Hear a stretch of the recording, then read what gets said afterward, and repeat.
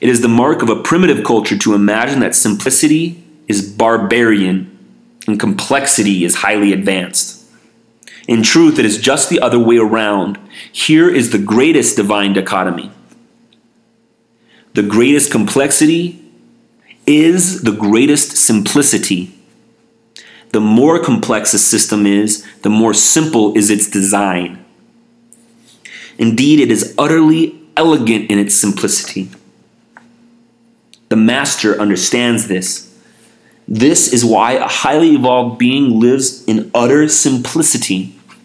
Highly evolved systems of government, education, economics, or religion all are utterly, elegantly simple. So let us remember that the mission of Christ, your mission, is to save you from not knowing and experiencing who you really are. His intention was to demonstrate that by showing you what you can become, indeed what you are, if you can only accept that. Jesus sought to lead by example. This is why he said, I am the way and the life. Follow me. He didn't mean follow me in the sense that you would all become his followers, but in the sense that you would all follow his example and become one with God. He said, I and the Father are one, and ye are my brethren. He couldn't have put it more plainly. And so I will say it again. The differences between human cultures and highly evolved cultures is that highly evolved beings observe fully and communicate truthfully they see what works and say what is so. This is another tiny but profound change which would immeasurably improve life on your planet. It is simply a matter of what is functional, of what brings benefit. Each individual is the sole and final arbiter of what is and is not appropriate behavior for them. Remember that caring creates communication. And where there is deep love, words are virtually unnecessarily. Ultimately, all real communication is about the truth, and ultimately, the only real truth is love. That is why, when love is present, so is communication. And when communication is difficult, it is a sign that love is not fully present. Awareness, honesty, and responsibility. These three are interchangeable. One leads to the other. It does not matter what order they come in.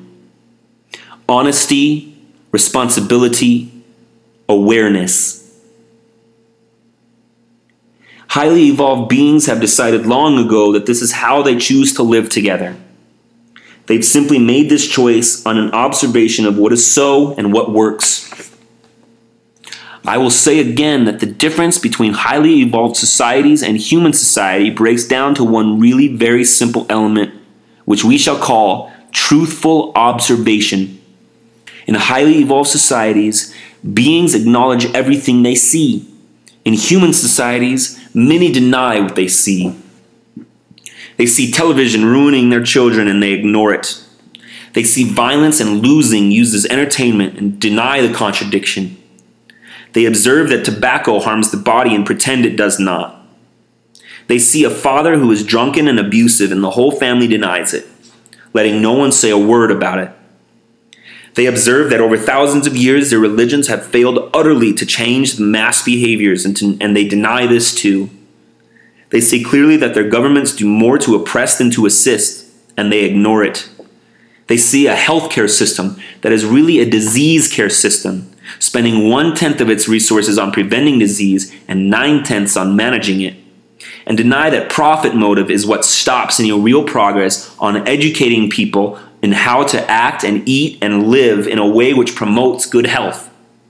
They see that eating the flesh of animals that have been slaughtered after having been force fed chemical laden foods is not doing their health any good, yet they deny what they see. They do more than that, they try to sue some talk show host who dare even discuss the subject.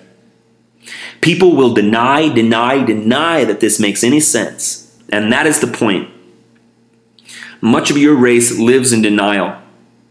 They deny not just the painful, obvious observations of everyone around them, but the observations of their own eyes.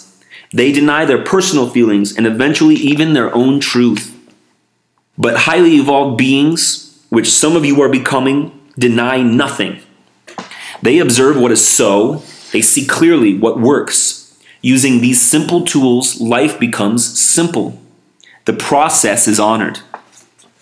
Remember this about the process everything depends on who you think you are and what you are trying to do. If your objective is to live a life of peace, joy, and love, violence does not work. This has already been demonstrated. If your objective is to live a life of good health and great longevity, consuming dead flesh, smoking known carcinogens, and drinking volumes of nerve deadening, brain frying liquids does not work.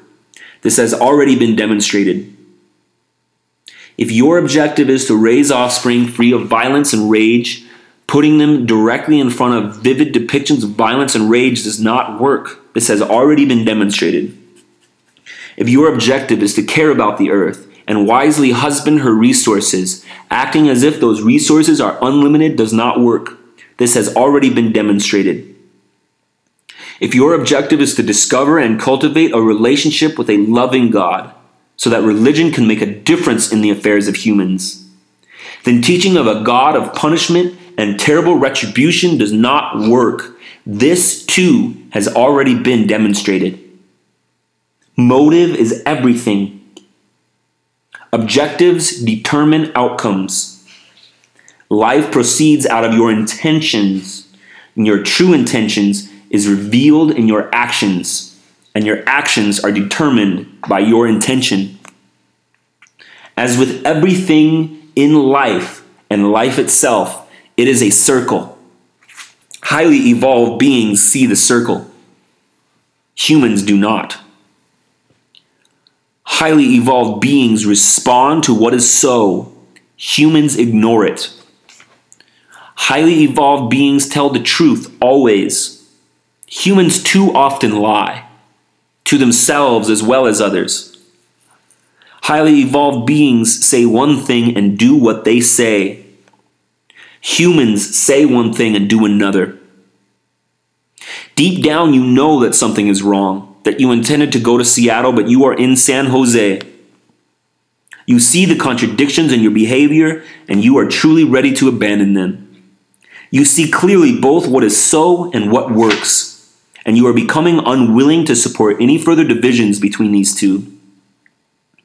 Yours is a race awakening. Your time of fulfillment is at hand, you need not be discouraged by what you have heard here, for the groundwork has been laid for a new experience, a larger reality. And all this was merely preparation for it. You are now ready to step through the door. This dialogue has been intended to throw open the door, but first to point to it. See, there it is.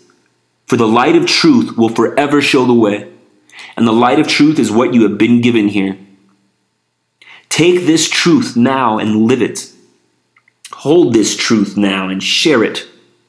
Embrace this truth now and treasure it forevermore. There is no need to go further. There is no need to ask more questions or hear more answers to satisfy more curiosities or provide more examples or offer more observations. All you need in order to create the life you desire, you have found here. All we can do now is repeat, re amplify, return to the same wisdom over and over again. There is nothing new here, but simply ancient wisdom revisited. And it is good to revisit, it is good to become familiar once again. This is the process of remembrance, of which I have spoken so often. You have nothing to learn, you have only to remember.